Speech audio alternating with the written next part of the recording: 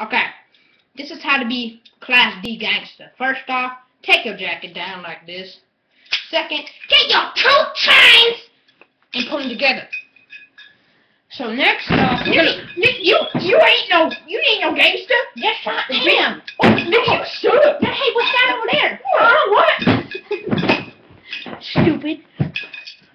This is how you teabag like a gangster. Mm, Um, That's how you take out them classy niggas. Mm-hmm.